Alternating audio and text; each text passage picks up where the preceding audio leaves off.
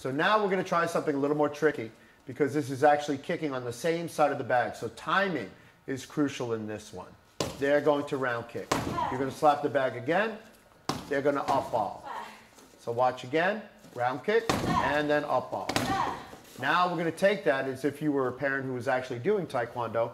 Going to go round kick, round kick, up ball, up ball. So this is a matching drill that requires a little bit more timing because it's a you go, I go drill. It's a same side drill and not an opposing side. So there is the danger of collision. That's why you have to move slowly in the beginning. Round kick, round kick, up ball, up ball.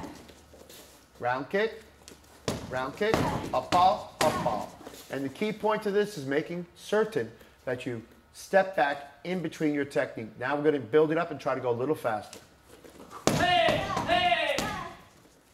Hey, Once you get that, you can alternate sides. So you would slide back after you executed both kicks.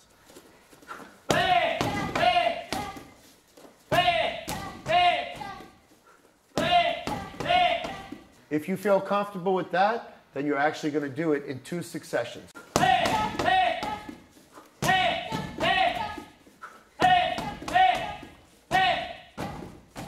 time.